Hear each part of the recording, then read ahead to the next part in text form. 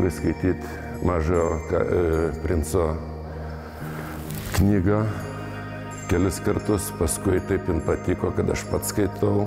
Aš save surandu tenai. Tas mažasis princas, jis augo, augo ir užaugo iki karaliaus. Dėl to mano dabar paroda vadinasi Mažojo karaliaus visata, o visata dėl to, kad jis jau išaugo ir iš savo turėjimų, ir iš savo titulų, ir pats jis tapo jau karalium ir iš savo planetos įsikėlė į kitas planetas, visur keliauja.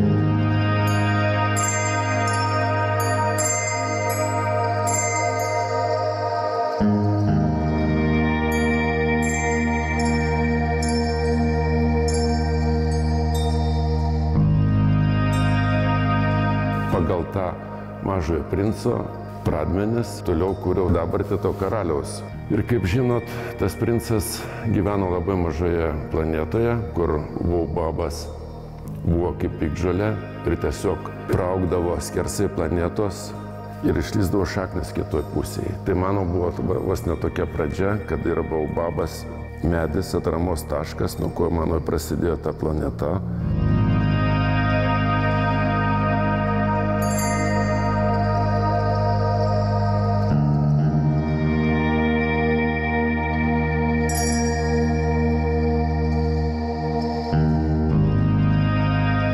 Paskui kitos yra artgėlė, kur laikė gėlę vieną po gaubtų, ją augo, augino, prižiūrėjo, o aš tiesiog padariau visą gėlyną kosminių ir vis, visų, ir kuria yra ir po šalnos, ir kur naktį pučia, ir kaip, kai sakau, visą tą kūriau, tiesiog atmosferą per save perleisdamas, pristačiau tiesiog.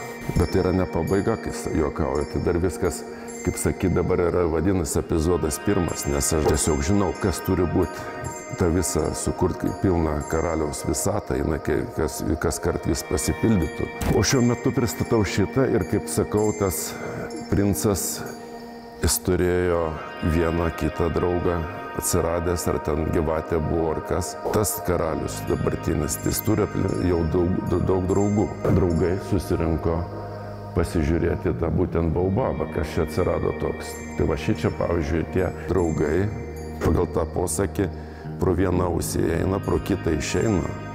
O čia yra tik vie- vieni, vienausiai. Dėl to, kad eitų ir tu save turėtum. Ar blogą, ar gerą, kokią tą energiją tau aplanko. Tiesiog tu ją į vidų savo priimi. Pagrindė pas mane yra paveikti žmonės, jie yra, turi deformaciją dėl to, kad, sakykime, kažkur įeina pro ausį ir turi išeiti, bet kai neišeina, prasideda mano žaidimas, skulptūrinis tas ieškojimas to būtent poveikio tos energijos, ar kaip aš tom savo skulptūromis tai žaidžiu. O draugai tai yra gyvenime svarbiausia. Tai yra draugai, kurie, į kuriuos gali atsiremti tiesiog ir su jais keliauti po visą tą visatą, toliau kartu su jais.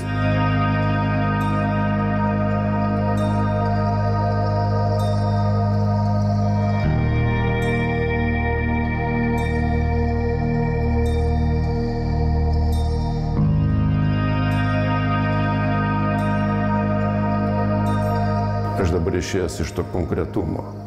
Nėra tokio, kai sakau, plyta silikatinė, ar kaip darau ir tokius, bet va čia viską rodau tai, laisvą tą formą, tai aš sugalvoju mintį ir kokius tris judesius padarau, įsipiešiu, kad neužmirščiau. Jeigu to nepadarau, viskas. Buvau dar pienburnis, tai kitą kartą būdavo tai, kas gaunasi.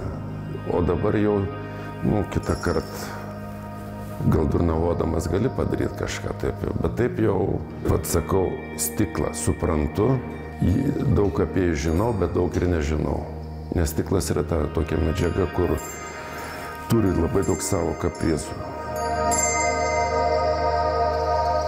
Gilinusiu į vairias tokias paslaptingas gal technologijas, kur tiesiog gal to stikliškumo nesimato, bet yra, pavyzdžiui, šitokį gali tik padaryti kūrinį tik būtent į stiklą.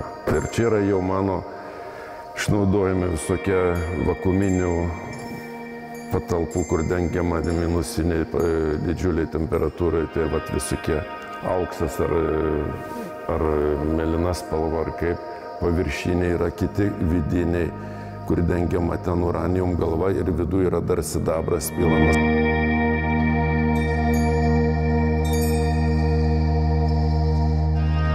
Tos galvos yra mano tokia, kaip sakau, turinė technologija, kur žaidžiu irgi čia, gal turi ir keramikų, ir yra kažkokia dalis irgi naudoja tokia, nu, kaip su niuansais tokiais surandi savo. Ir forma svarbu, ir dabar kažkur, nu, nu, ta spalva, aš spalvą naudoju minimaliai.